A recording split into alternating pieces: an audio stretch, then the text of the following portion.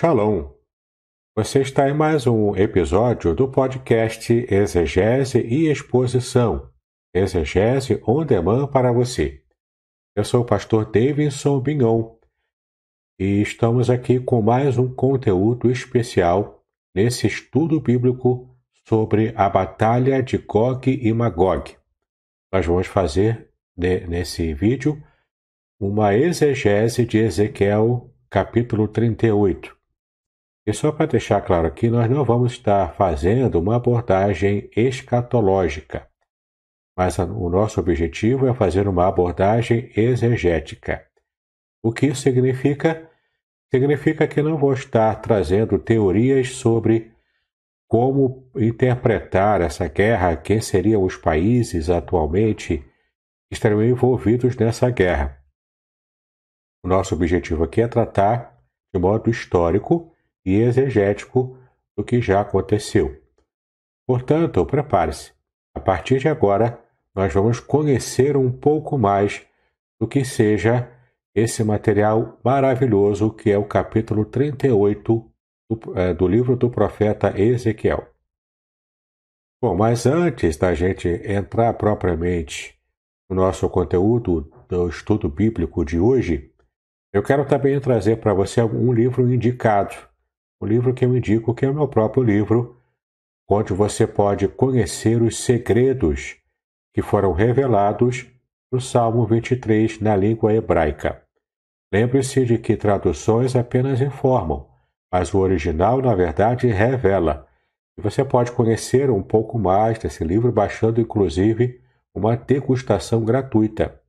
Basta acessar o site contextualizar.com.br e então você pode baixar e ler uma degustação desse livro, Revelações Originais do Salmo 23, onde eu, eu trato palavra por palavra de cada versículo do Salmo 23 na sua língua original. Acredite, depois de ler esse livro, você jamais estará citando ou lendo o Salmo 23 da mesma maneira. A sua compreensão vai aumentar exponencialmente. Bom, além do livro Revelações Originais do Salmo 23, eu também quero indicar para você um outro livro de minha autoria, que é o livro Ética do Casamento Judaico. Bom, esse livro é a publicação da minha monografia de mestrado em Ciências da Religião, de modo que você vai poder conhecer todos os detalhes que envolvem o casamento, a união civil religiosa em Israel, e como esses valores éticos dentro do casamento também foram assimilados por nós na, na, na fé cristã. E é claro, entender tudo isso e também proteger a nossa família, hoje em dia principalmente, é algo extraordinariamente importante. Então, eu convido você a conhecer a ética do casamento judaico de minha autoria, também no site da editora Contextualizar. Muito bem, agora vamos falar sobre o texto, o texto de Ezequiel, capítulo 38. E nós vamos fazer uma leitura agora do primeiro versículo até o versículo 23. E não se esqueça, lá no meu grupo do Telegram, Exegese e Exposição Materiais, você também terá acesso aos PDFs que eu estarei usando para esse estudo aqui. Então, caso você me acompanhe tanto em vídeo quanto também em podcast, você poderá ter acesso ao conteúdo do que eu estou projetando aqui na tela nesse estudo. Vamos ao texto bíblico então. Bom, você poderá observar que na tela algumas palavras do texto estão grifadas. Essas palavras serão é, trabalhadas mais à frente em nosso estudo de hoje. Então fique atento para todas as palavras grifadas na leitura do texto agora de Ezequiel 38. Veio a minha palavra do Senhor dizendo: Filho do homem, dirige o teu rosto contra Gog, terra de Magog, príncipe e chefe de Meseque e Tubal, e profetiza contra ele. E dize: Assim diz o Senhor Deus: Eis que eu sou contra ti, ó Gog, príncipe e chefe de Meseque e de Tubal e te farei voltar, e porei anzóis nos teus queixos, e te levarei a ti com todo o teu exército, cavalos e cavaleiros, todos vestidos com primor, grande multidão, com escudo e rodela, manejando todos a espada. Persas, etíopes e os de Pute com eles, todos com escudo e capacete. Gomer e todas as suas tropas, a casa de Togarma, do extremo norte, e todas as suas tropas, muitos povos contigo. Prepara-te e dispõe-te, tu e todas as multidões do teu povo que se reuniram a ti, e serve-lhes tu de guarda. Depois de muitos dias serás visitado. No fim dos anos virás à terra que se recuperou da espada e que foi congregada dentre muitos povos, junto aos montes de Israel que sempre se faziam desertos. Mas aquela terra foi tirada dentre as nações, e todas elas habitarão seguramente.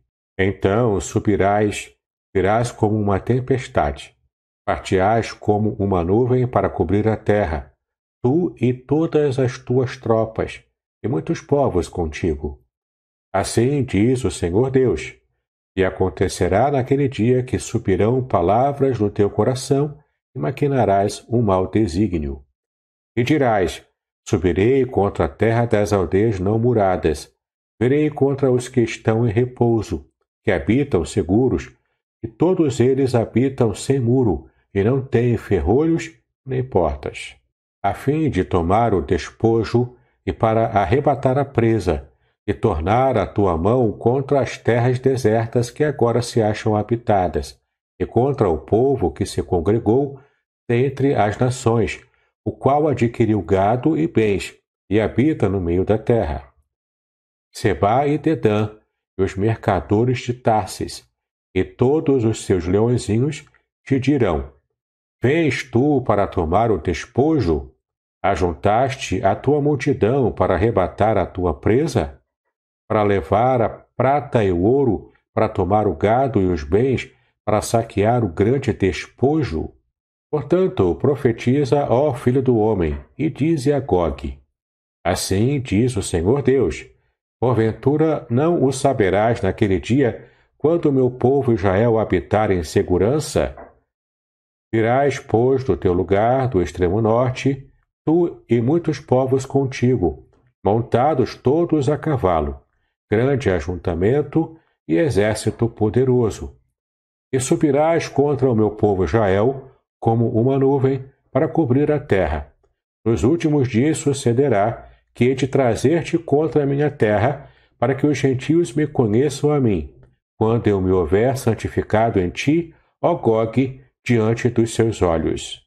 Assim diz o Senhor Deus: Não és tu aquele de quem eu disse nos dias antigos, por intermédio dos meus, dos meus servos, os profetas de Israel? os que os quais naqueles dias profetizaram largos anos que te traria contra eles? Sucederá, porém, naquele dia, no dia em que vier Gog contra a terra de Israel, diz o Senhor Deus, que a minha indignação subirá à minha face.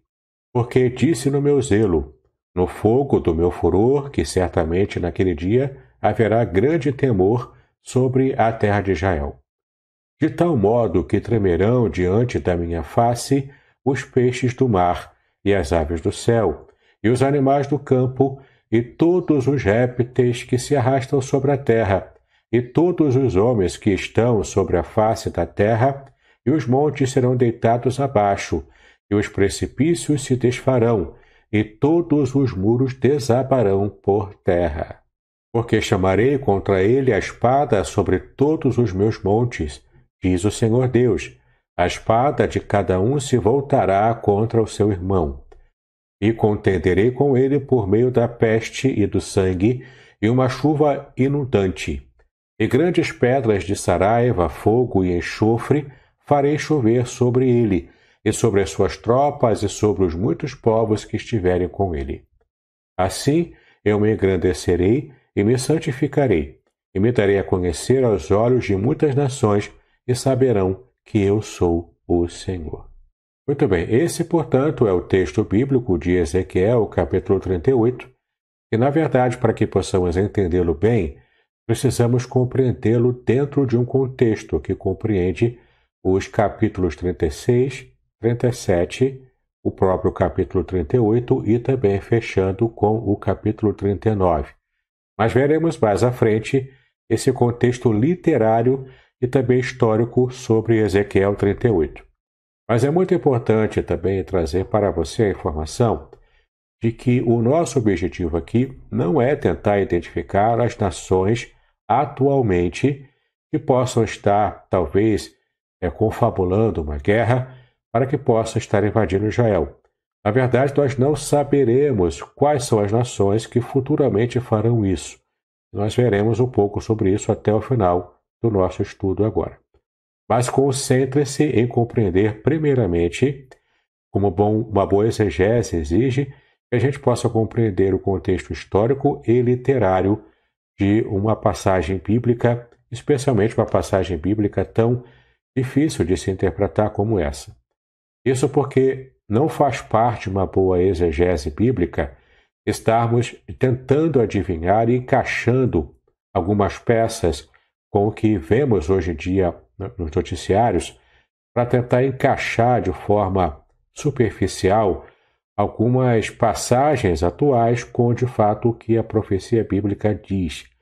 O mais importante é que possamos entender o que a profecia bíblica disse para as pessoas que receberam essa mensagem primeiramente em sua época original.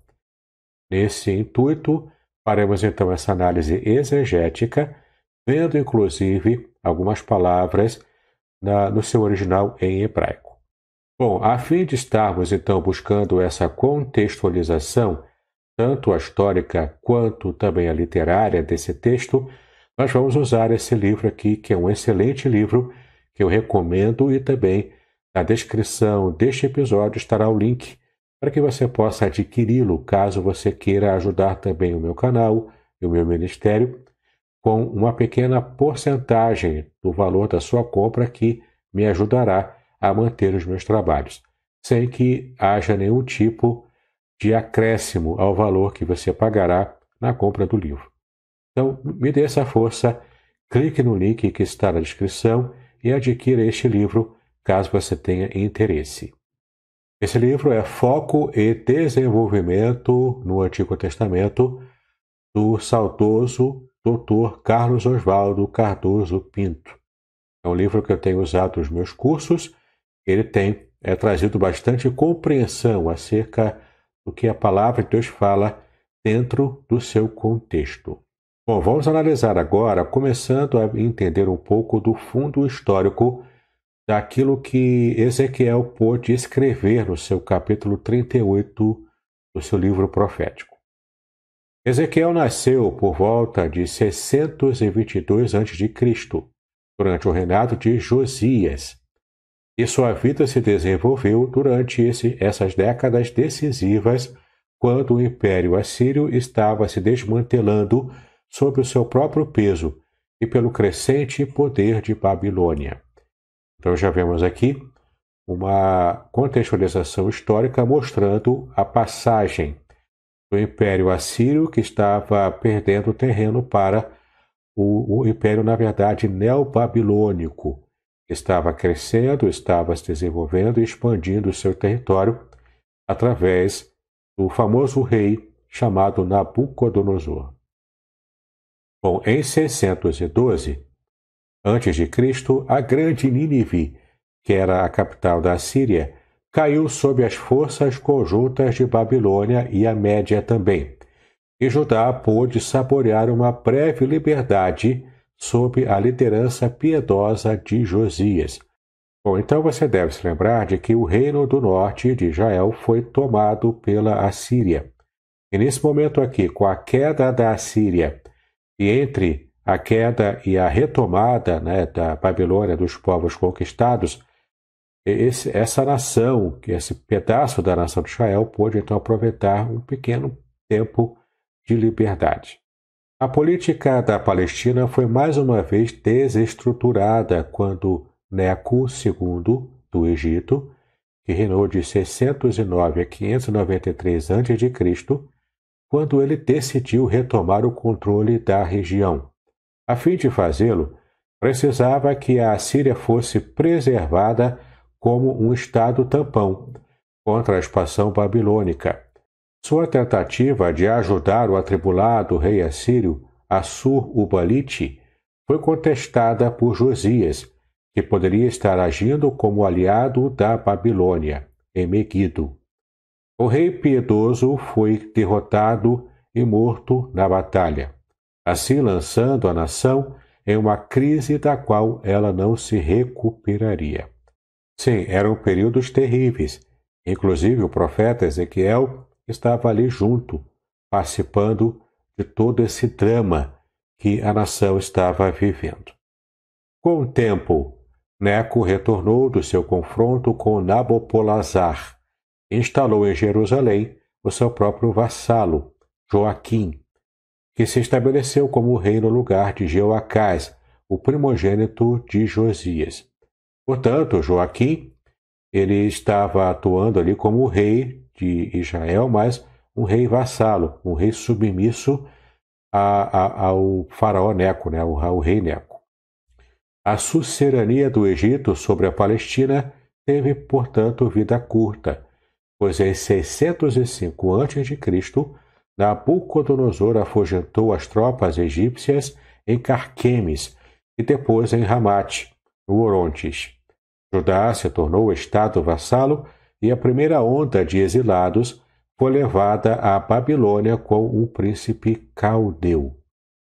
Portanto, aqui nesse período, toda, toda essa expansão de Nabucodonosor, levando o Império Neobabilônio a, a estar realmente alcançando sucesso. É muito interessante o modo como Deus coloca é, essa expansão babilônica como de fato sendo algo que ele estava em pleno controle. E Nabucodonosor não estava tendo essas vitórias todas apenas por causa da sua genialidade. Na verdade, era a mão do Senhor conduzindo a história naquele período, inclusive usando a própria Babilônia e o próprio Nabucodonosor para trazer juízo ao seu povo rebelde, que estava sempre desobedecendo às ordens do Senhor. Bom, a natureza volúvel de Joaquim o levou a rebelar-se quando tropas caldeias e egípcias lutaram chegando a um impasse perto do Egito em 601 a.C. Mudando a sua lealdade para o Egito, ele provocou a ira de Nabucodonosor contra Judá, que foi invadida e conquistada em 597 a.C. Jeoiaquim foi morto, e então Jerusalém conquistada. Naquele mesmo ano, o rei Joaquim e os cidadãos poderosos foram levados à Babilônia em exílio. O jovem levita certamente ouvira as ácidas denúncias de Jeremias sobre o pecado de Judá e agora se encontrava longe da sua terra, o seu lugar de adoração e serviço. Bom, a comunidade judia na Babilônia desfrutou liberdade relativa e nutria uma convicção profunda de que o seu exílio seria breve e que logo eles estariam novamente em Jerusalém. Ezequiel foi o instrumento de Deus no exílio para demonstrar quão profundo era o pecado de Israel e quão doloroso o tratamento divino precisaria ser. Nada menos do que a destruição da paródia religiosa de Israel satisfaria a justiça divina e livraria a nação da sua tendência idólatra. Ezequiel testemunhou aos exilados a melancólica separação entre Israel e a glória divina. Apenas resgatando aqui também uma informação, para que você possa se lembrar de que Israel foi levado ao cativeiro, no caso aqui o cativeiro babilônico, simplesmente porque estava é, cedendo aos apelos da idolatria dos outros povos, e tanto o desgaste trouxe no relacionamento de Israel com o seu Deus, e também questões de estarem abandonando a obediência à própria lei de Deus, estavam praticando injustiças contra órfãos, viúvas estavam negligenciando, é, inclusive, as festas de Deus. Tudo isso Israel estava é, cometendo pecado com tudo isso. Mas o pior de todos foi, de fato, a idolatria, o que levou então Deus a produzir essa situação de juízo para aprendizado e expurgar de uma vez no coração do seu povo Israel, de fato, esse vírus da idolatria na nação. A última data do livro precede a restauração de Joaquim, por uns 12 anos. Confira, por exemplo, em Jeremias capítulo 52, versículo 31. Portanto, o livro não relata o evento, possivelmente porque sua ênfase jaz mais na restauração escatológica a ser conduzida pelo próprio Yahweh, quando a sua habitação for novamente estabelecida em Jerusalém.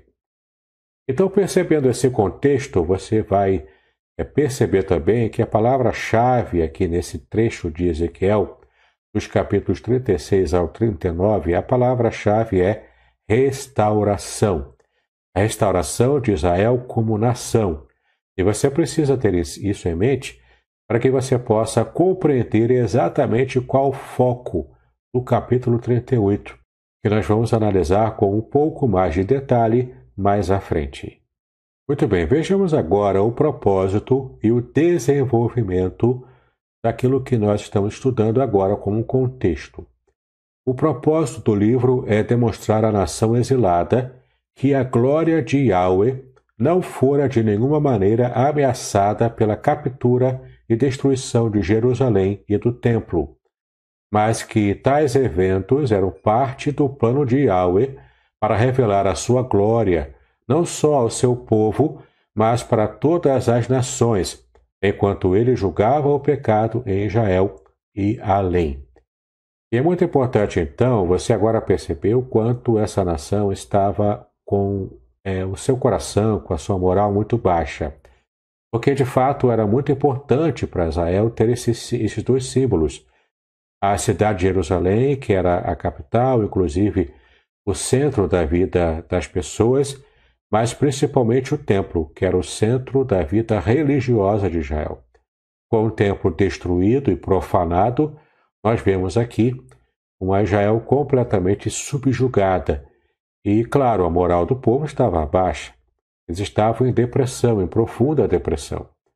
E precisavam da restauração da cidade e do templo para que pudessem, então, é, se entenderem novamente, se enxergarem como uma nação a própria nação de Deus, o povo escolhido, o povo que Deus preparou e escolheu ao longo da história para, através desse povo, abençoar o mundo. Naquele momento, Israel estava pagando um preço muito alto pelos seus pecados, especialmente pela sua idolatria. Bom, para esse fim, o profeta faz repetida menção à glória de Deus. Doze vezes essas menções aparecem no livro e do compromisso de Deus também de fazer o seu nome, isto é, ele próprio, seu caráter, o seu plano o seu poder. Ou seja, a sua reputação. Não é? O nome de Deus é a reputação dele. Então, o, o propósito de Deus, o compromisso dele era fazer o seu nome notório. Porque, e você pode perceber que isso, isso ocorre mais de 60 vezes em Ezequiel. Tudo isso para que Deus mostrasse a todas as nações da terra o quanto ele era um Deus amoroso que estava cuidando do seu povo e tinha um plano especial de restauração para toda a nação. Ezequiel então realiza o seu propósito, a princípio, ao demonstrar como a glória de Deus será revelada na humilhação, na destruição e no cativeiro de Jerusalém, em razão de sua rebelião idólatra contra o soberano Senhor. Você pode observar isso desde o capítulo 1 até o capítulo 24 do livro de Ezequiel. Essa preocupação é mostrar a glória de Deus, mesmo através desse momento em que ele estava trazendo juízo, estaria, portanto, expurgando toda essa idolatria que estava entranhada na vida espiritual e religiosa do seu povo, o povo de Israel. Então, a primeira divisão aqui descreve a preparação de Ezequiel para ser o mensageiro de Yahweh a uma nação rebelde, e a sua visão da glória de Yahweh incluía querubins, que são um tipo de guarda de honra para a presença santa de Yahweh. E também apresentamos aqui as rodas, que falam de maneira material da onipresença de Yahweh, o firmamento e também o próprio trono de Yahweh, que retratam o resplendor e a glória do Senhor. Essa presença assombrosa será sentida ao longo do livro, por sua manifestação, sua partida, sua ausência e também o seu retorno. Perceba que nesse foco do livro tudo está apontando para Yahweh, a glória para Ele. Ele que está é, controlando a história e agindo então para consertar o seu povo pecador e também para colocá-lo novamente na terra completamente restaurado, sem esse problema todo criado pelo pecado da idolatria. Bom, depois da visão, Ezequiel então é comissionado para proclamar destemidamente a mensagem do juízo de Yahweh a uma nação rebelde. A comissão vem quando Deus manda que o profeta coma um rolo de livro, uma figura frequente da revelação de Deus e também do seu plano. Ao levita profeta, que aqui é Ezequiel, né? Ele também era, era levita. Então, ao levita profeta são prometidas proteção e força de Yahweh. Ele deverá ser atalaia com uma mensagem de juízo.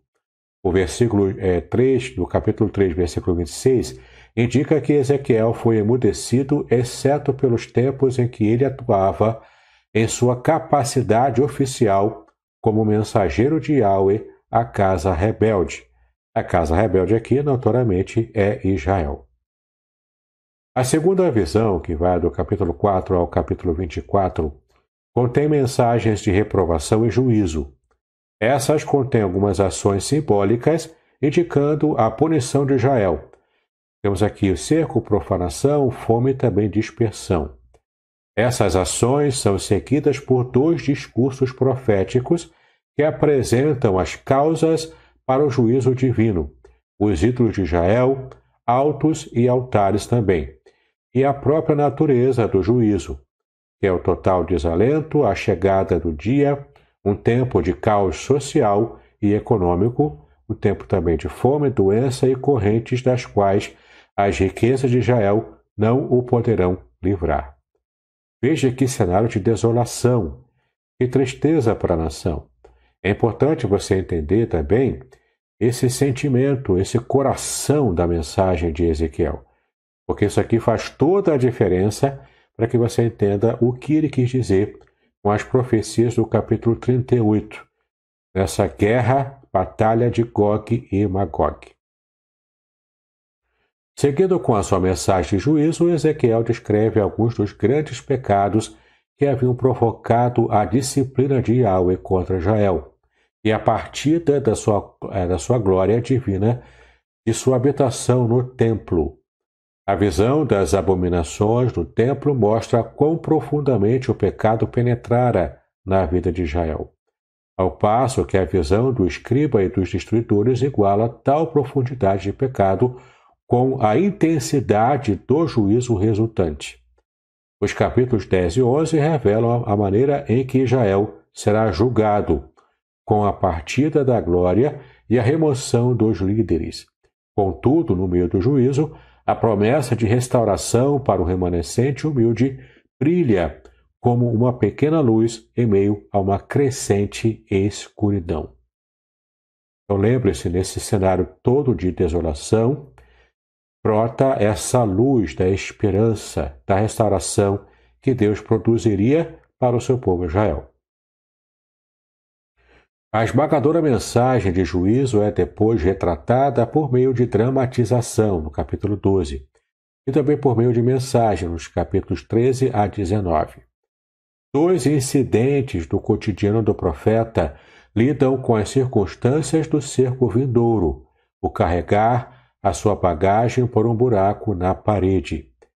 Isso aqui retratava a futilidade da tentativa do rei de fugir de Jerusalém enquanto a dramatização de Ezequiel no momento da refeição revelou os sentimentos de medo e ansiedade que os israelitas certamente provariam em breve, como está lá no capítulo 12. Algumas das causas do juízo vindouro são esboçadas nas sete mensagens que se seguem. Os falsos profetas que negavam o juízo iminente e diluíam os pecados da nação pereceriam com ela. A liderança idólatra seria indubitavelmente julgada como a nação pela qual a intercessão era fútil também. Ezequiel, por intermédio de três parábolas, demonstra agora outros pecados pelos quais Israel se fez culpado. A parábola da vinha acentua a infidelidade e a inutilidade de Israel para Yahweh. A parábola da adolescente desviada revela a ingratidão e a prostituição espiritual de Israel. A parábola das duas águias, mais uma vez, menciona a volubilidade política de Israel misturada com restauração, pois há a promessa da saída de um remanescente dentre os exilados na Babilônia. As duas últimas mensagens nessa sessão apontam para o cinismo histórico de Israel, com base no qual desejava culpar as gerações passadas e, em última análise, Yahweh por sua situação futura. No capítulo 19, um canto fúnebre para os últimos e ineptos reis expõe a falta de liderança espiritualmente qualificada de Israel para que, é, que poderia ser, é, ter evitado a punição agora inevitável. É muito interessante a gente perceber o quanto também há uma tendência atualmente da nossa geração de estar culpando as gerações anteriores pelos seus próprios fracassos. Esse é um elemento cultural em nossa nação, aqui em pleno século XXI. Mas você pode perceber aqui como Deus rejeitava esse tipo de, de sentimento de se culpar uma outra pessoa pelos erros que você próprio comete. Israel também teve esse problema no passado. E Deus não poupou o seu povo por causa dessa, dessa culpabilidade atribuída às gerações anteriores. Na verdade, essa geração teria sim que pagar caro pelos seus próprios pecados. A sessão de juízo do livro termina com o contraste entre o implacável juízo vindouro e a indestrutível esperança de uma restauração pactual futura, seguido por um retrato do papel da Babilônia como instrumento de vingança de Deus, uma espada para punir nações de toda a espécie. A isso se segue uma recapitulação do desrespeito histórico de Judá pelas estipulações da aliança e do expurgo nacional que ele finalmente ocasionará. Já estamos aqui caminhando já no versículo no capítulo 22, né? A infidelidade de Israel é destacada na parábola das duas irmãs, em que a ingratidão e as alianças idólatras determinam o destino de Aolá, Samaria, já selada em 722 a.C., de Aolibá, que era a própria Jerusalém, que viria em breve. A destruição nas mãos daqueles cuja proteção e provisão elas haviam preferido a de Yahweh, como está aqui no, no capítulo 23. É interessante você perceber que, de fato, é, de acordo com a própria Bíblia, a, a, é, o, o modo correto de se falar não é Samaria, mas é Samária. E de fato, ainda hoje é assim que se pronuncia aquele lugar, chamado Samaria. Então temos aqui essa parábola das duas irmãs, Aolá e Aolibá, sendo que Aolá representava Samaria, que foi invadida pela Síria primeiro, e depois Aolibá, que representava a própria Jerusalém, invadida pela Babilônia, e, portanto, é, trazendo o selo do juízo divino contra o seu próprio povo, devido aos pecados, como nós já sabemos. Bom, enquanto o profeta ilustra o cerco e a destruição da cidade por meio da comparação com a panela no capítulo 24, ele recebe a notícia de que a sua esposa morrerá, mas que ele não poderá fazer luto por ela. Olha que tristeza, né? Isso retrata a destruição do templo, o orgulho e a alegria de Israel e o centro da vida na aliança. O mensageiro de juízo cumpriu a sua obra é, de acusação, e uma mensagem mais doce se encontrará em seus lábios daqui em diante, a partir do capítulo 25. Seguindo o padrão também encontrado em Isaías e Jeremias, Ezequiel dedica a sua segunda parte da sua profecia a oráculos de destruição contra as nações vizinhas. A maioria destes está ligada à política babilônica do século VI a.C. Mas Ezequiel faz questão de que todo o cenário seja visto. Yahweh é o verdadeiro instigador e ator também no drama do que estava acontecendo na sua época, na sua geração. Assim, Amon será julgado por sua insolência, no capítulo 25. Moabe, por seu orgulho e desprezo por Yahweh, ainda no capítulo 25. O oportunismo egoísta de Edom é aqui assinalado para juízo, enquanto os filisteus serão destruídos por sua maliciosa vingança contra Israel. Ezequiel, então, dedica uma quantidade incomum do texto a Tiro. Muito possivelmente, a autoconfiança arrogante da cidade retratava alguém cujo espírito energizava o rei de Tiro. Veja aqui nos capítulos 26 e 28. O rei da Babilônia, então, será o instrumento de Yahweh para afundar o poderoso navio do Estado tiriano disseminando luto e dor entre aqueles que comerciavam com Tiro e partilhavam na sua adoração idólatra. Olha que terrível, né? Deus no comando da história, usando povos pagãos estariam crescendo para poder trazer juízo contra outros povos pagãos. Ele também agiu dessa mesma forma com o seu próprio povo Israel, usando um povo pagão para trazer também esse juízo e consertar a nação que estava quebrada espiritualmente. Sidom, no capítulo 28, também será submersa pela maré caldeia, e o Egito, apesar de sua história, não será capaz de evitar pesados ataques projetados contra ele por Nabucodonosor. O Egito, fonte indigna da confiança para Israel, finalmente é julgado por meio de, de acusação divina na proclamação do juízo, na, da demonstração de quão inúteis é, se provariam as suas tentativas de fuga, como tinham sido para a Síria, e de um canto fúnebre para o próprio Egito também. A terceira e última parte da profecia, do capítulo 33 ao 48, diz respeito à restauração final de Israel, é, que vai também do capítulo 33 ao 39 e também ao glorioso estabelecimento do reino de Yahweh entre os homens, centrado em uma nova Jerusalém, na qual ele habita. Veja aqui os capítulos 40 a 48. Olha que interessante como essa parte final aqui para de falar, o profeta para de falar sobre juízos contra Israel e contra as outras nações também, e agora fala sobre profecias que tratam da restauração de Israel como nação restauração ao seu, à própria nação, à própria terra, restaurando, portanto, a cidade e também o templo, o templo de Jerusalém. Quanto, o quanto de alegria que essa restauração traria para toda a nação. Ezequiel, mais uma vez, é comissionado como atalaia, compartilhando as boas novas da restauração, mas novamente indicando a necessidade de uma reação individual ao alerta divino contra o pecado. No capítulo 33 ele fala isso. A mensagem de esperança, ilustrada pela cura da mudez de Ezequiel, coincide com a confirmação de sua mensagem de destruição.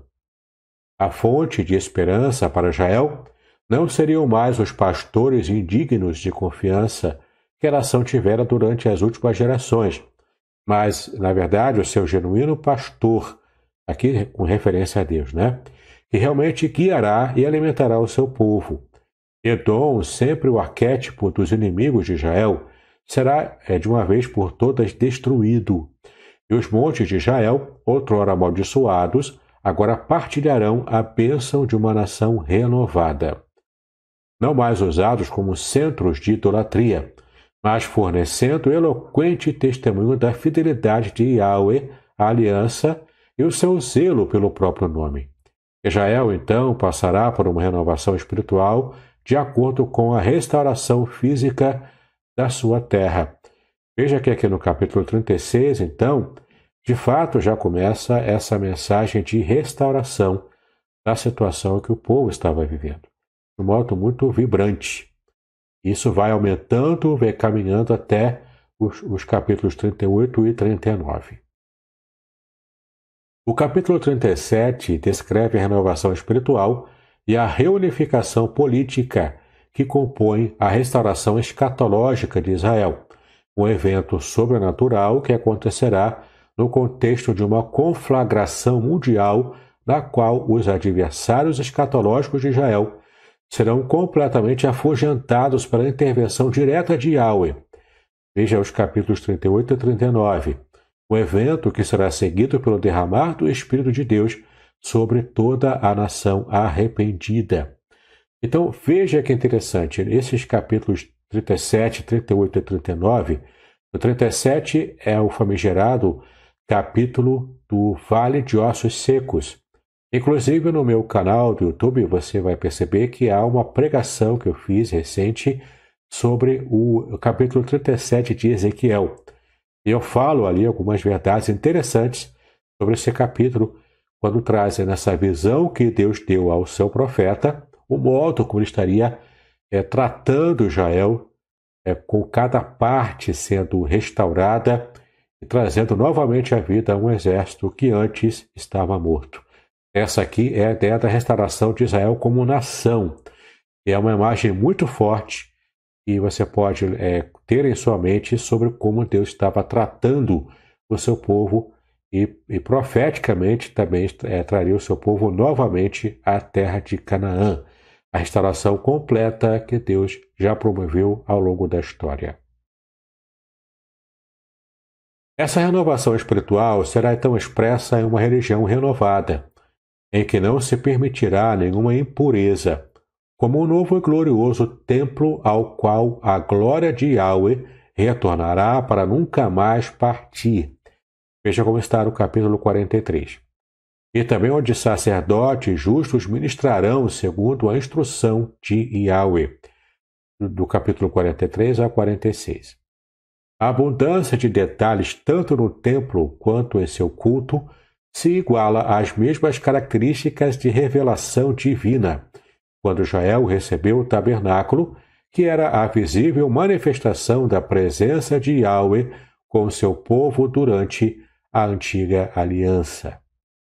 As características físicas da Palestina serão completamente alteradas de modo a manifestar a natureza vivificadora do relacionamento entre Yahweh e o seu povo, com um rio fluindo do templo, o capítulo 47, que também é bastante conhecido, uma nova divisão entre as tribos, a grandeza da cidade e suas portas, e o majestoso esplendor da Jerusalém renovada, onde Yahweh habita em glória.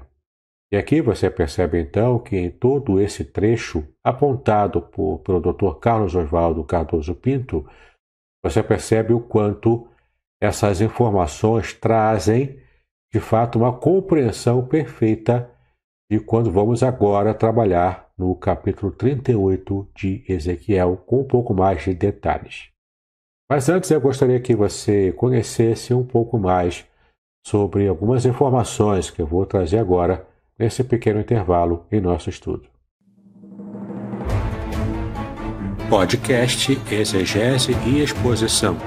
Exegese on demand para você.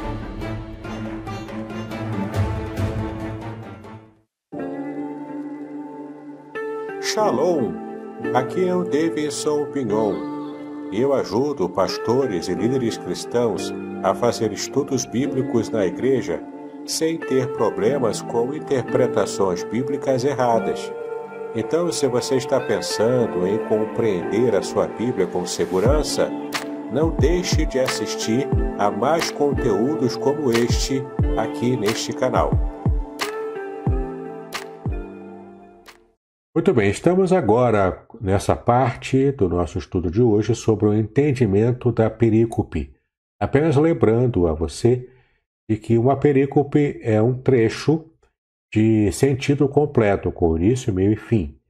É, portanto, uma porção completa de uma passagem bíblica um pouco maior que nos ajuda a poder compreender essa mensagem né, que o Senhor estava dando nesse período, nessa perícope.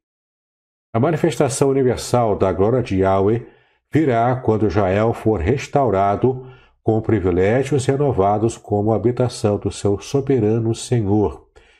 Isso vai do capítulo 33 ao 48. Então temos algumas subdivisões aqui que nos ajudam a entender essa perícope um pouco maior, né? A geração de Ezequiel é confrontada com a necessidade de assumir a responsabilidade por suas escolhas espirituais, em vez de culpar Yahweh por, é, pelos seus sofrimentos. A restauração de Israel significará uma liderança renovada sob a proteção do próprio Yahweh. A, a restauração de Israel significará a eliminação de inimigos históricos, assim como Edom. A restauração de Israel significará também o estabelecimento de uma nova aliança que o próprio Deus faria com o seu povo. Nova aliança essa que nós já conhecemos bem. É o nosso Novo Testamento, essa, essa aliança renovada que Deus está fazendo com o seu povo, primeiramente, alcançando também outros povos, inclusive nós aqui no Brasil. A restauração de Israel significará também a renovação espiritual de reunificação política do povo de Deus. E veja como isso aqui é importante nas profecias. Inclusive, a própria restauração completa e a perfeita subjugação dos inimigos de Israel pelo próprio Deus, isso é a marca desse, desse profundo é, momento escatológico em que nós ainda aguardamos vir, né? porque Israel ainda tem os seus inimigos, estão sempre combatendo essa nação, o povo de Deus. Mas em breve veremos Deus estar completamente dizimando e tirando da história, da memória também, esses povos pode, que possam hoje, ainda hoje, se levantar contra Israel. Bom, a restauração de Israel significará a derrota final daqueles que buscam a posse da terra prometida. Isso está profetizado, está prometido aqui nos capítulos 38 a 39 do livro do profeta Ezequiel. Bom, a restauração de Israel significará também um relacionamento renovado com Yahweh, expressado por religião renovada não apenas a, a, aquele modo antigo né, e, e até mecânico de se fazer os ofícios religiosos no próprio templo, mas de fato uma religião pujante, vibrante, que Israel estaria vivendo no futuro, nesse período aqui do profeta, de fato é se reconectando perfeitamente com o seu Deus. Temos aqui então que a restauração de Israel significará um templo renovado onde a glória de Yahweh habitará permanentemente. A visão do novo templo é então introduzida por um anjo com uma cana de medir no capítulo 40. Os atos do novo templo são descritos em detalhe nesse mesmo capítulo. O novo templo e seus edifícios anexos são descritos também. As câmaras sacerdotais descritas aqui no capítulo 42 e a área do, ao redor do templo é também descrita nesse mesmo capítulo. Temos ainda a área do, ao redor do templo que é descrita, a glória de Yahweh, que Ezequiel vira em Quebar, em Jerusalém, retorna ao templo escatológico, santificando então toda a área, como está aqui no capítulo 43. O altar e as cerimônias associadas a ele são descritos nesse mesmo capítulo 43. A restauração de Israel significará uma religião renovada na qual a pureza e a fidelidade serão a nova norma. Os ministros do templo escatológico serão fiéis em todos os seus deveres e não é mais como pastores errados, né? pastores que fazem o povo errar. Temos também um parênteses aqui que aparece no capítulo 45. Nesse parênteses vemos a justiça do futuro que motiva a honestidade no presente para Israel. Temos ainda as ofertas e o calendário do templo, que é escatológico, que são, são então descritos no capítulo 45, versículo 13, ao capítulo 46. Ainda a restauração de Israel significará segurança em uma terra renovada, a qual será abençoada com a gloriosa presença de Yahweh. Capítulo 47 e 48 também. Um rio recém-formado tornará a terra frutífera e agradável, como está no capítulo 47. E já terminando aqui, fronteiras seguras e novas localizações tribais darão a terra para os, israelitas restaurados. Capítulos 47, versículo 13 a 48 e 29. E por fim, Jerusalém será restaurada a um status magnífico e coroada também pela presença de Yahweh, como está no final do capítulo 48, do versículo 30 ao 35. Mais uma vez, a referência aqui, que todo esse conteúdo final também tiramos do livro Foco e Desenvolvimento do Antigo Testamento, do Dr. Carlos Oswaldo Cardoso Pinto. Muito bem, agora trataremos do contexto cultural de toda essa passagem que estamos estudando, no capítulo 38 do livro de Ezequiel. E a base para toda essa informação que trarei a partir de agora está no livro Comentário Histórico Cultural da Bíblia, no primeiro tomo, que é o tomo do Antigo Testamento, publicado por Edições Vida Nova. É um livro que eu também recomendo muito ele traz muitas informações preciosas para o seu estudo exegético, para o seu estudo bíblico. E também você poderá adquiri-lo com o link que está disponível aqui na descrição deste vídeo. Basta que você esteja clicando, você não vai pagar nada mais caro do que o preço normal dele, mas você me ajudará a continuar a manter o trabalho fazendo estudos, dando aulas e vídeos e podcasts também aqui no meu canal do YouTube. Então me ajude, me dê essa força e adquira o livro Comentário Histórico-Cultural da Bíblia Antigo Testamento. Então, nesse trecho, vemos aqui é, o que nos interessa no capítulo 38, e agora vamos para a análise de algumas palavras-chave, aquelas que eu destaquei no, na leitura do texto, agora elas aparecerão aqui e será uma análise um pouco mais aprofundada. Gog e Magog, portanto, é o nome, é o título desse trecho do capítulo 38. Então, a primeira palavra destacada é a palavra Gog. Como você pode ver aqui em hebraico, está escrito Gog, né, como está em hebraico. A identificação de Gog tem confundido comentaristas durante séculos. A explicação mais provável é que o nome seja um derivado de Giges, um rei lídio mencionado em fontes assírias e gregas. Bom, nas fontes assírias, ele é chamado de Gugu e governa sobre Mate Gugu, que, em acadiano significa a terra de Gugu. O seu reinado, porém, ocorreu 50 anos ou mais antes da época de Ezequiel, e por isso alguns estudiosos argumentam que o nome se tornou um título dinástico, usado por seus descendentes reais. No caso aqui, o nome Gugu, né?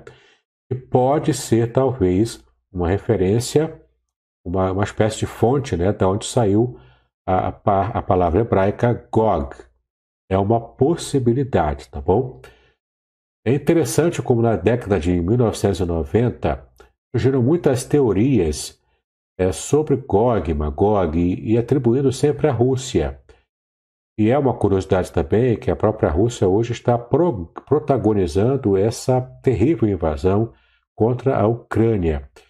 Mas isso tem despertado no coração de muitos servos fiéis do Senhor, mas que é, não leram ainda com muito cuidado essa profecia de Gog e Magog.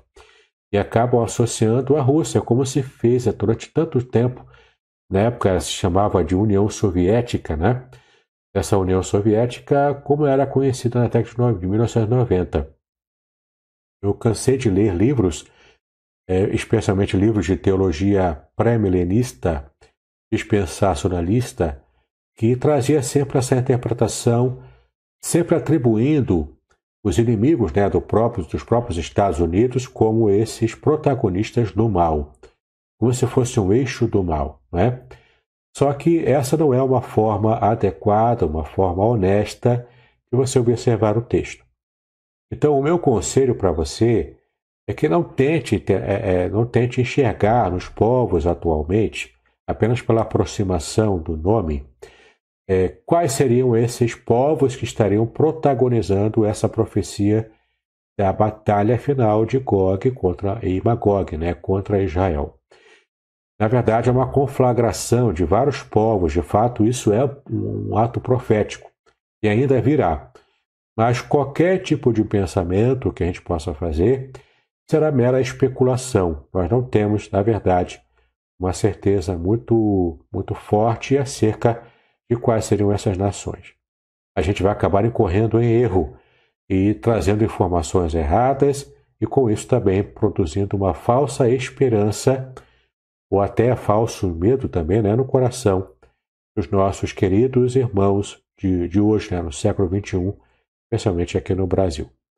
Então, Provavelmente é, essa terra de Gog fosse uma, fosse uma referência a essa nação antiga, especialmente esse rei né, chamado Ugu, tá bom?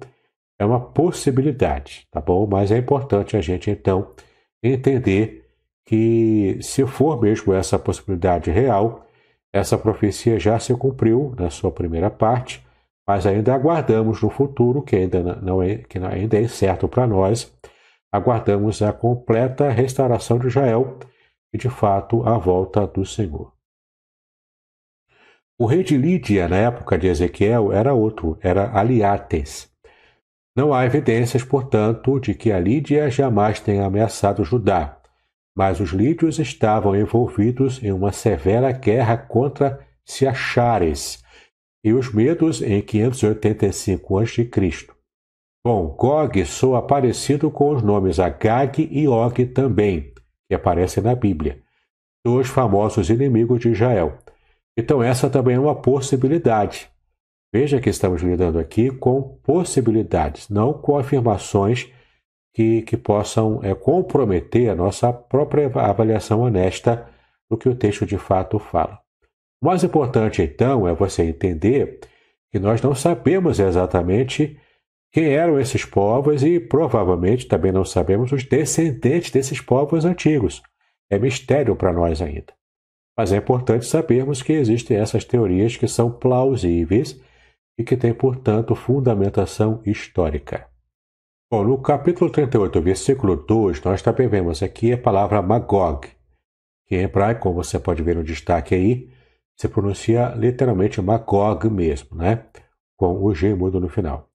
Provavelmente Magog é a forma hebraica do acadiano Matgugu, a terra de Gog, que Joséfo identificou como Lídia, no oeste da Anatólia. Lembrando aqui que Flávio Joséfo era um historiador judeu na época do primeiro século, e ele é uma fonte extra-bíblica importante e também nos traz informações relevantes acerca da própria história de Israel. E é importante, é legal a gente perceber como Joséfo via esses textos bíblicos de um modo geral. Ainda no versículo 2, nós temos aqui as, esses outros povos aqui, Mesec e Tubal, que, como aparece aqui na, na parte hebraica, Mesec e Tuval, né? como está aqui, é assim que se pronuncia na língua hebraica. No final do século VIII a.C., esses dois reinados anatólios foram assolados por guerras internas, conquistados por Sargão II, rei da Síria, e também invadidos pelos Cimérios, no sul da Rússia, do que hoje é Rússia, né? Infelizmente, pouco de sua história referente ao século VII início do século VI a.C. foi preservada. Acredita-se que tenham sido incorporados ao domínio lídio após o término das guerras cimérias. Na, primeira, na primavera de 585 a.C., os lídios estavam em guerra com os medos. Portanto, é um, é um cenário de guerras invasões, e por, por isso que trazia tanto medo né, ao coração do povo de Israel também. São mencionados novamente no período persa como identidades étnicas distintas.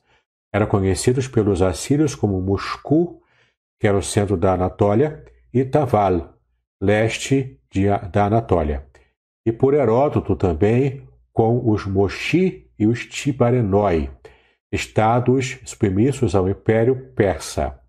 No final do século VIII a.C., o rei de Moscou era Mita, conhecido pelos gregos como Midas, o rei que transformava em ouro tudo o que tocava. O seu túmulo foi identificado em Gordion e escavado também. É interessante como que os próprios gregos também tinham uma, uma visão né, de como seriam esses povos aqui antigos mencionados no capítulo 38 de Ezequiel. E como nós já estamos vendo, embora tenha alguma identificação histórica, mas essa projeção para o futuro é temerária. Uma projeção temerária, porque de fato faz com que a gente acabe especulando mais do que propriamente percebendo o, o caminhar da história nessa, nesse cumprimento das profecias. Bom, aqui no versículo 4 do capítulo 38, nós vemos essa expressão anzóis em seu queixo, que nós podemos ver aqui em hebraico a expressão em destaque. Venahati tahim bilha ierha. Então é interessante a gente perceber aqui essa expressão que fala de fato sobre anzóis, literalmente anzóis, que são presos ao queixo. Mas vejamos aqui o comentário. Os assírios costumavam colocar ganchos ou anzóis no queixo dos inimigos derrotados, tanto com o objetivo de humilhá-los, quanto de transportá-los para outras terras também. É, é, anzóis machucando, né, maltratando o queixo dos inimigos conquistados. Olha como eles eram terríveis. De fato, os assírios eram horríveis. Eram cruéis né, no trato dos povos conquistados. Essa prática é descrita com frequência em seus anais, ilustrada de forma clara em seus relevos de parede. Esar-Adon é ilustrado em uma esteia de Zingirli, na Síria, conduzindo Baal, rei de Tiro, e Tiraca, rei do Egito, por uma corda presa a uma argola introduzida nos lábios desses reis derrotados. Assurbanipal afirma haver furado as bochechas de Uate, rei de Isabel, com um instrumento pontiagudo e colocado uma argola em seu queixo também. Então, um dado muito interessante é percebermos como Deus usa é, esses fatores culturais para poder mostrar de uma forma vívida para o seu povo o que de fato ele estava fazendo. Por exemplo, também eu posso trazer para você essa informação de que quando Deus fez a aliança com Abraão, aliança com Noé, também com outros povos, com outras pessoas e com o povo de Israel, né? O termo literalmente em hebraico é cortar aliança. Por quê? Porque era uma técnica antiga de se cortar o animal ao meio e as pessoas que estavam participando de uma aliança, que era uma espécie de contrato da época, as pessoas passavam por entre as metades desses, eh, desse animal cortado e, a, e o pacto que faziam um com o outro era o seguinte: que aconteça comigo a mesma coisa que aconteceu com esse animal, se eu deixar de cumprir a minha parte do nosso acordo. Então é interessante como essa prática, até pagã antiga, foi usada por Deus para poder criar a aliança feita com as pessoas que estaria chamando e depois também com a sua nação, a nação de Israel. Então é interessante a gente perceber essa característica que a Bíblia traz, o modo como Deus usa os fatores culturais da sua época, da época da Bíblia, né? Para que possa então se comunicar perfeitamente de forma entendível, de forma inteligível com as pessoas com quem ele falava na, na antiguidade. É bem interessante esses dados. Ainda no versículo 4 do capítulo 38, nós vemos aqui as, as expressões escudos grandes e pequenos. Em hebraico, é, é Tsiná Umagen, né? que de fato Magen é escudo em hebraico. Eram, portanto, escudos que protegiam o corpo todo, os grandes, e também escudos de mão, respectivamente. Ou seja, esses escudos pequenos eram escudos para proteger certas áreas em que o soldado, aquele que estava guerreando, poderia é, se proteger, mas os grandes serviam para proteger de modo mais geral o corpo todo. E essa expressão também, que é cultural, que é, é, é até histórica e geográfica né, da época, faz também diferença no, no, no modo como Deus está usando essas imagens para falar com Israel acerca de como ele faria a restauração da nação. Eram imagens vívidas para o povo. Já no versículo 6, nós temos aqui um outro povo, que é mencionado aqui, o novo nome, né? que é a palavra Gomer, em hebraico. Gomer tem sido comparado aos Gimihai, dos anais assírios e aos cimérios, nas fontes gregas. Na Odisseia, a Odisseia de Homero, né? eles viviam no litoral norte do Mar Morto. Atacaram o reinado de Urartu a partir do norte e causaram problemas para os assírios no século 8 a.C. Sargão morreu em batalha contra eles em Tubal. Parece que foram expulsos das montanhas do Cáucaso para a Anatólia, segundo Heródoto. Envolveram-se com o reinado anatólio da Lídia no século VII a.C. Subjugaram os frígios e saquearam a capital, Górdion, a sede real do famoso rei Midas, em 676 a.C. Bom, em 644 derrotaram Sardes, a capital da nação Lídia. Foi quando Giges se encontrou com a morte.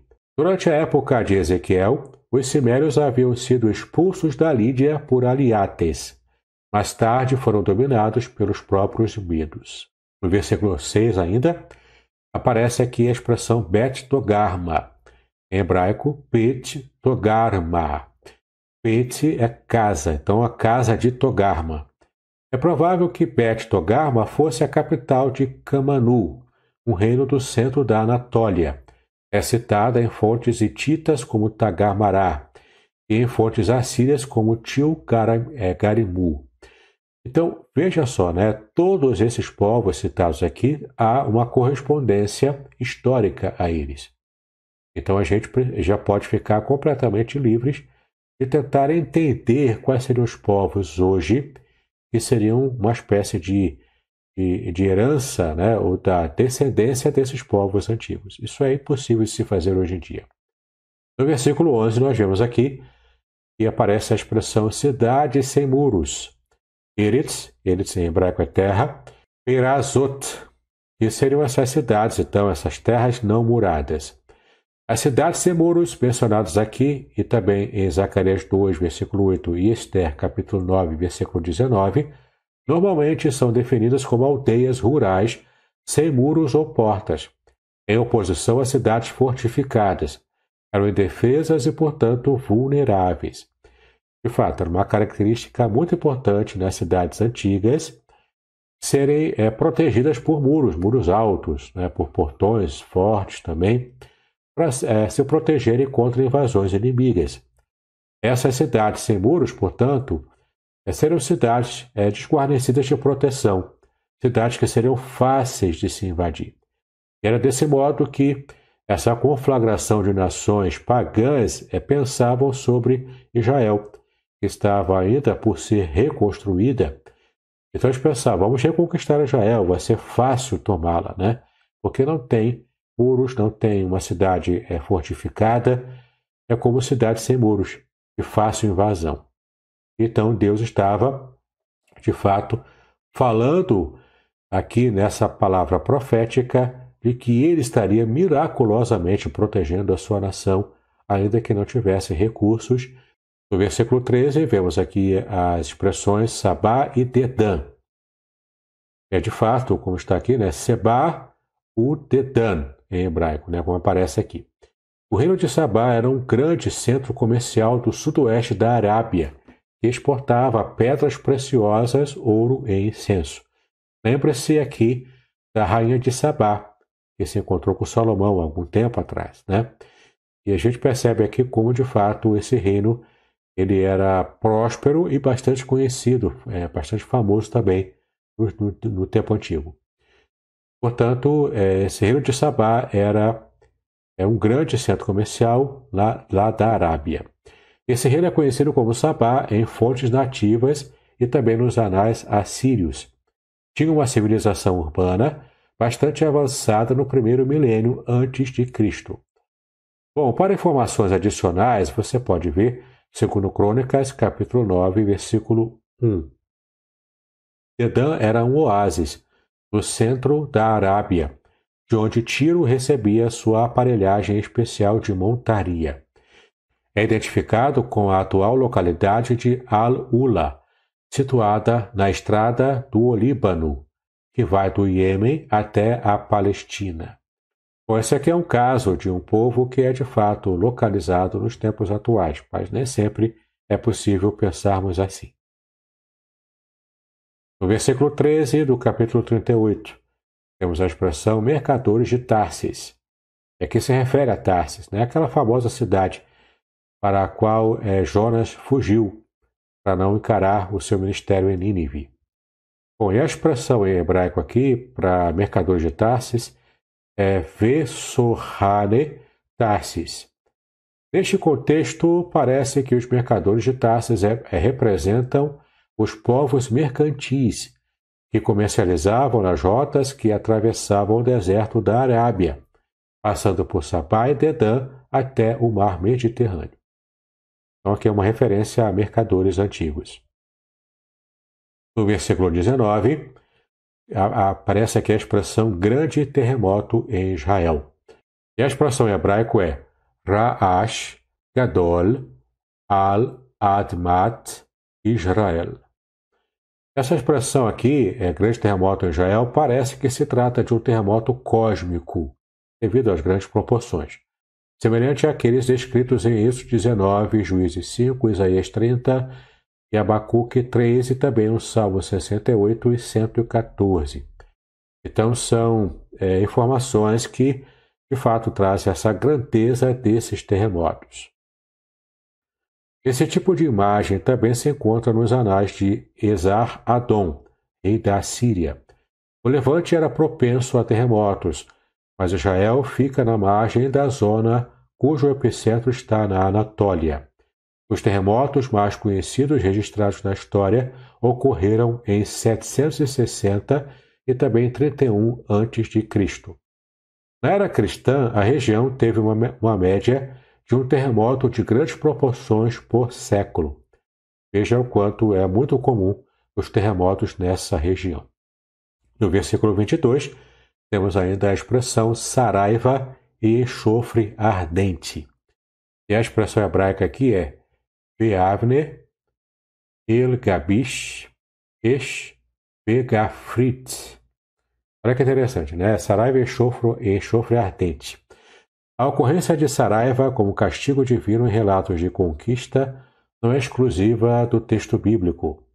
Em uma carta ao seu deus, Assur, Sargão, rei da Síria, relata que em sua campanha contra Urartu, em 714 a.C., o deus Haddad mandou uma tempestade contra os inimigos, com pedras do céu, aniquilando-os por completo. Essa batalha incluía uma coalizão que fugiu pelos desfiladeiros e vales, perseguida por Sargão, com o rei inimigo escondendo-se nas fendas da sua montanha. O enxofre ardente é uma substância amarela cristalina que pega fogo em contato com o ar. Muitas vezes é encontrada em regiões vulcânicas. Não tem relação com a saraiva, exceto por se tratar também uma catástrofe que sobreviria àquela área. É, é, esse enxofre ardente também está relacionado a, a, queimar, né, que é símbolo de purificação na linguagem bíblica, mas também é símbolo de, de juízo divino né, contra aquela cidade. Bom, depois de todo esse estudo que envolve né, a exegese, a parte histórica, a parte geográfica até. Vamos tratar aqui de algumas conclusões. Como eu já falei aqui desde o começo, em nosso estudo não temos a pretensão escatológica de estar tentando identificar os povos atualmente com esses povos antigos. Não é esse o nosso objetivo. O nosso objetivo é perceber as informações histórico, geográficas e exegéticas para que a gente possa, então, ter uma compreensão muito mais abrangente. Também lançamos mão uma análise literária para que a gente possa perceber qual o objetivo de Ezequiel ao escrever todo o seu livro, especialmente essa, esse trecho, essa perícope que trata da restauração completa de Israel, que já foi cumprida em grande parte, mas todo o seu propósito e a sua conclusão final e definitiva ainda acontecerá. Lembre-se que em 1948, depois de Cristo, na nossa era, Israel foi completamente estabelecida lá em Canaã.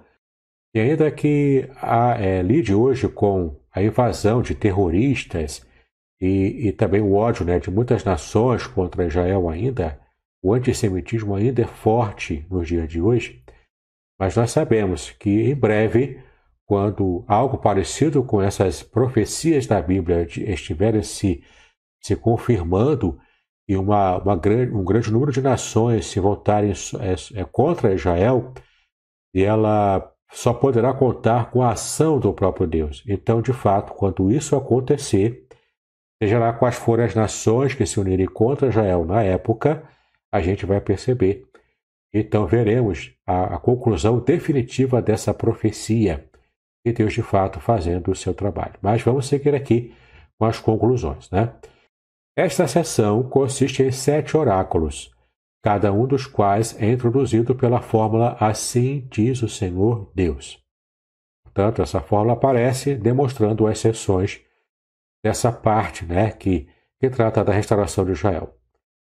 É, descreve como Gog, o príncipe-chefe de Meseque e Tubal, invadirá a terra de Judá, vindo do norte, para despojá-la e destruir o povo que mais uma vez está pacificamente restabelecido na sua terra. Apenas é, resgatando aqui uma informação também de que toda a invasão para Israel acontecia pelo norte. O único acesso à terra de Israel, Canaã, é somente pelo norte. Então, algumas pessoas hoje querem trazer essa informação. Ah, vai ser Rússia, vai ser é, outros povos ali do norte. Aqui é uma, uma informação geográfica importante. Todas as, todos os acessos a Israel, especialmente as invasões antigas, só davam para fazer pelo norte. Então aqui não é uma informação de localização dos povos que estariam invadindo Israel, mas é uma informação de como se entra na terra. Apenas pelo norte é que se podia invadir Israel antigamente. O Senhor, porém, vindicará a sua santidade, massacrando os invasores, de modo que seus cadáveres ficarão espalhados nos montes de Israel como presas para as feras, e os seus restos mortais levarão sete meses para serem enterrados no vale das forças de Gog. Além disso, suas armas fornecerão ao povo de Israel lenha, que servirá para sete anos estarem completamente usando essas armas quebradas, sem precisar usar armas. Aqui essa é a ideia, né? Que aparece aqui nesse trecho da nossa avaliação final. Bom, muitos estudiosos da Bíblia consideram esta seção de Ezequiel uma das passagens proféticas mais difíceis das Escrituras e não apresentam um consenso quanto às suas interpretações. Alguns identificam essa invasão com a Batalha do Armagedon, descrita em Apocalipse 16 e 19. Mas os contrastes entre esses dois acontecimentos são óbvios demais para a gente levar a sério essa interpretação. Fica, portanto, aqui a informação real de que não é adequado estarmos tentando adivinhar quais seriam esses povos hoje que conflagrariam né, essa, essa aliança contra Israel o que profeticamente aqui se refere à guerra de Gog e Magog. Não sabemos hoje quem são. Quando de fato isso estiver acontecendo, a gente vai de fato saber, tá bom? Então é importante você saber disso e espalhar essa informação para que você possa realmente é, contribuir para o ensino bíblico de qualidade para as pessoas que você tem contato na sua igreja, amigos pessoais, né? E quando começaram a levantar essas teorias da conspiração hoje em dia, sem muita base histórica, né? você tem agora um modo né, adequado de poder explicar para eles o que de fato poderá acontecer no futuro. De fato acontecerá, né? Essa profecia de Ezequiel vai se cumprir.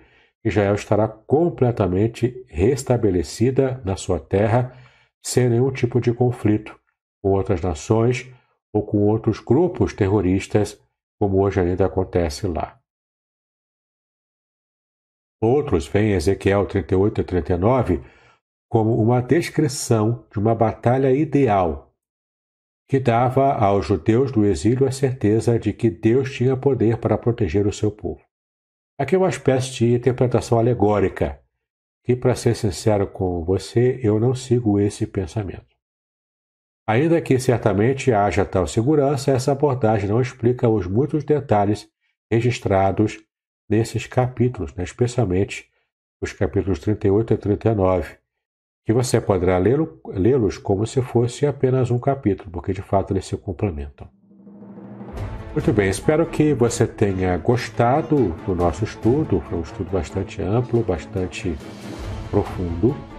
Espero que eu tenha trazido muita informação para você e dirimido dúvidas.